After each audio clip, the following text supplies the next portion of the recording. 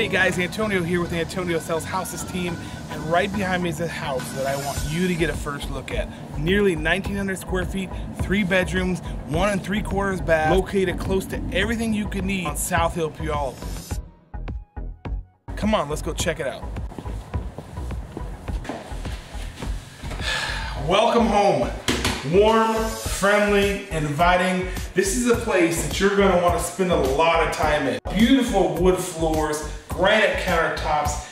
It is magnificent. And the lighting in here, hmm, may have been done by an electrician, I'm not quite sure. As you come downstairs, you've got another three quarter bath with a beautiful shower, more granite countertops, and a fantastic lower level living room with built-in cabinetry, uh, a workstation that's built in, um, and plenty of room for you to hang out, watch the game, watch movies.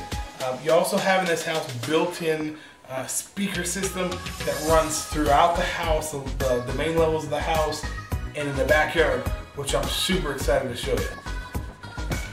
Ah!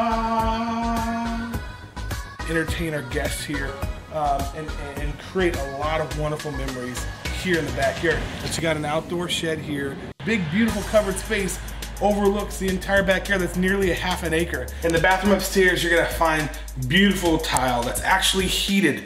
Wonderful feature in the wintertime when it's cold. Jacuzzi jetted tub, double sinks, uh, it's very, very large. Upstairs we have three uh, cozy but well laid out bedrooms.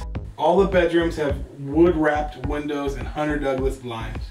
Built-in cabinetry. Guys, this is one of the largest laundry rooms you're gonna see in a house.